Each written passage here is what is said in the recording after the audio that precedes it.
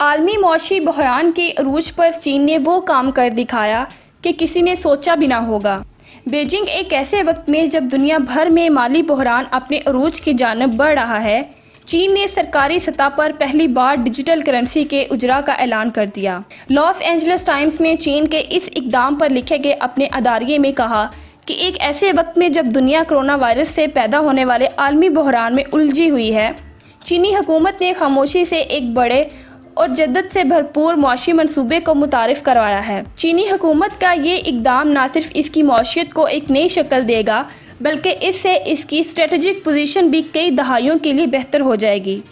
Report के मुताबिक चीनी हुकूमत की जानब से दुनिया की पहली डिजिटल करेंसी को गुज्त माह अप्रैल में मुतारफ़ करवाया गया था, और चीन के मरकज़ी बैंक की जानब से इसे डिजिटल यूआन का नाम दिया गया। इसके साथ इसे इब्तदाई तौर पर चीन के चार बड़े शहरों में आजमाइशी तौर पर मुतारफ़ कराने का ऐलान किया गया। इस ऐलान के बाद चीन दुनिया का पहला मुल्क बन गया, जहाँ रोज़मर्रा के अमूमी लेन देन सरकारी सरपरस्ती में डिजिटल करेंसी में होंगे। लॉस एंजलिस टाइम्स के मुताबिक चीन ने एक अहम संगे मेल अबूर कर लिया है। डिजिटल यूआन नकद रकम की तरसील की जगह लेगा और मुमकिन तौर पर वी चैट समेत दीगर जदीद निज़ामों से मुंसलिक होकर लोगों को सहूलियात पहुँचाएगा। रिपोर्ट के मुताबिक चीन एक ऐसा मुल्क है जहाँ निसफ अरब से ज़्यादा लोग मोबाइल पेंट्स की सहूलियात से फ़ायदा उठाते हैं। इनके लिए ये तब्दीली किसी किस्म की परेशानी का बायस नहीं बनेगी।